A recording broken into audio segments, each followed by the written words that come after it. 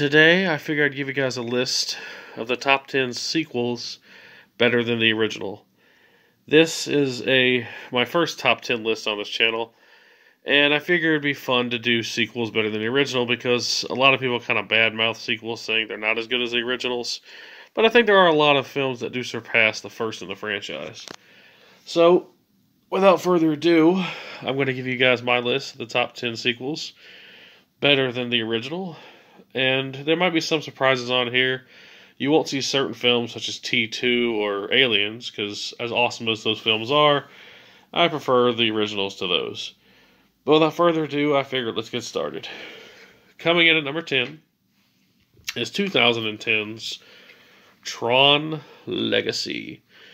The sequel to 19, I believe, 82's Tron. This film was a continuation and showed um, Flynn's son from the first movie going to try to find him in the digital world. This is a really awesome sequel to the original. It stars Jeff Bridges again, like the original, and has a story of him trying to create a new world at in this virtual digital space and the threats from that space trying to invade our world. It's a very interesting sequel and one that I highly enjoy and one that surpasses the original. Coming in at number 9 is 2014's Captain America The Winter Soldier. This is actually my favorite MCU film. It's the most grounded, the one with the least amount of humor. Not that humor is bad, but I feel a lot of the MCU movies are more comedy than they are serious. And it's got kind of it's gotten to be more of a problem in more recent years, especially with shows like She-Hulk, which are just kind of straight comedies and movies such as Guardians 2 and you know, it's just all fun and funny funny stuff and I just uh it's just it, it grates on my nerves. But this film is an exception to that. This film is a continuation and sequel to Captain America the First Avenger, and I think it's actually really damn cool. It has Captain America going up against his former friend, turned villain, the Winter Soldier, and it has Captain America trying to save the world from a corrupt government that's been taken over by Hydra. An awesome sequel through and through, and one that I highly recommend. Coming in at number 8 is 1987's Death Wish 4 The Crackdown. This film is my favorite of the series and has Paul Kersey returning to the role of vigilante, but this time he's also like an assassin. This is a great continuation of the series and one that I absolutely love. And if for anyone out there who wants a badass vigilante assassin type movie, you can't go wrong with Death Wish 4. Coming in at number 7 is 2015's Mad Max Fury Road. Fury Road is the best film in the Mad Max franchise. I absolutely love Mad Max 1, 2, and 3, but I think 4 is still the best. The only really gripe I have with this movie is Max is not played by Mel Gibson, but that is the only gripe that I really have. All in all, it's a very enjoyable film with lots of great action, great direction by George Miller. Just truly a badass continuation of the franchise, and one that I highly recommend. Coming in at number six is 2021's Spider Man No Way Home. Now, out of the original Spider Man trilogy, the original is my favorite, so Spider Man 2 would not make this list, although Spider Man 2 is a better film than No Way Home. But given the fact that the new Home trilogy, as I call it, is a whole new series, I figured why not throw in my favorite of that trilogy with the third film, Spider Man No Way Home. One of the rare instances where the third film is the best film of a series. No Way Home shows Spider Man teaming up with Tobey Maguire's Spider Man, as well as Andrew Garfield's Spider Man, in an attempt to save the world from the collapsing multiverse and send the villains back to their homes. A very fun and enjoyable film, and one that is very entertaining, and is probably my second favorite MCU film behind The Winter Soldier, but I had to put it higher on the list because I do find it to be more entertaining than The Winter Soldier. So there's that.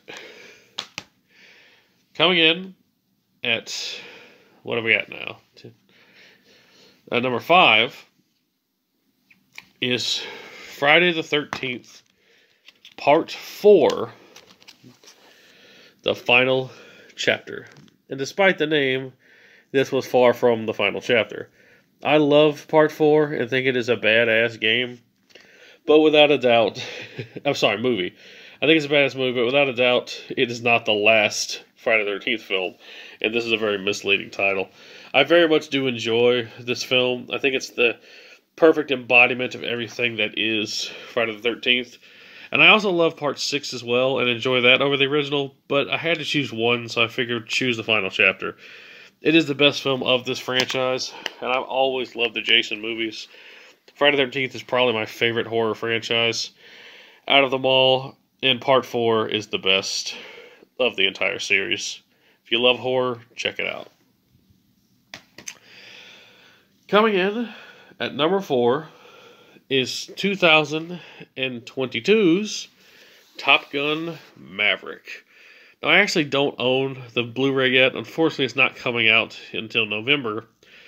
But in the meantime, I figured I could just hold up my VHS copy of the original and we can just pretend this is the second movie. I love the first Top Gun. It's cheesy 80s action fun, starring Val Kilmer, Tom Cruise.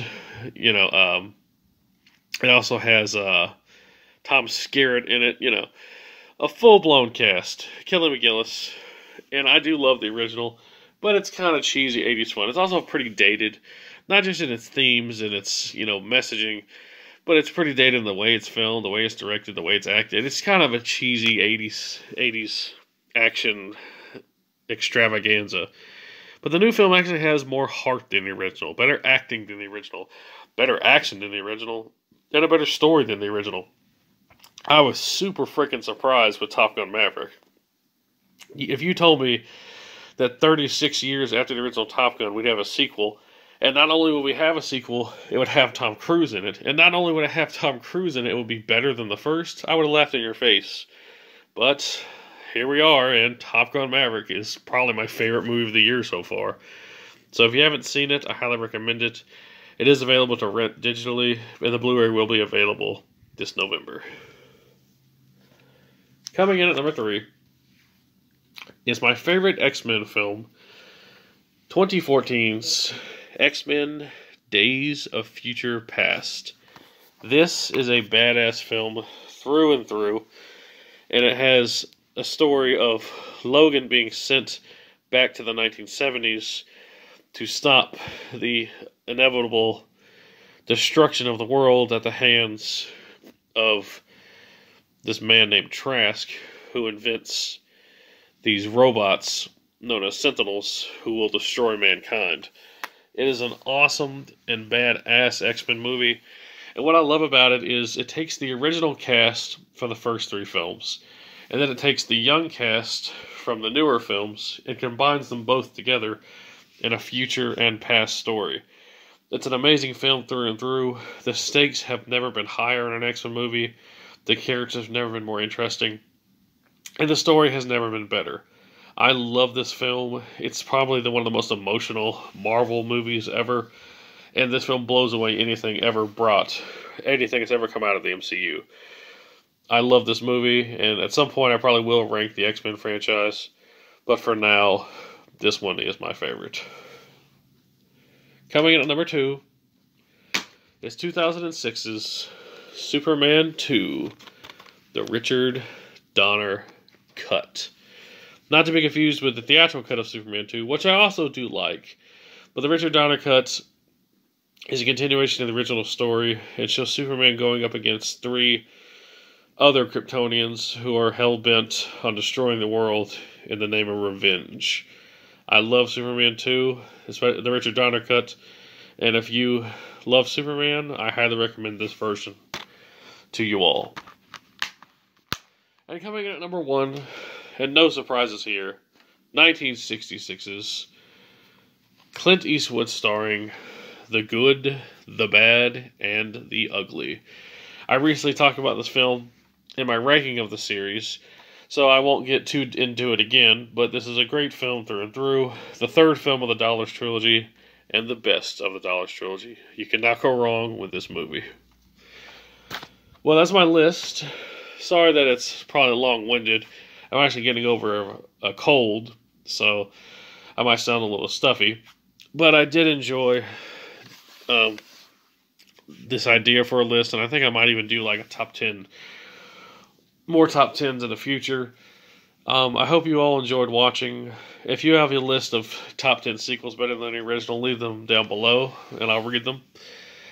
Thanks for watching and peace out.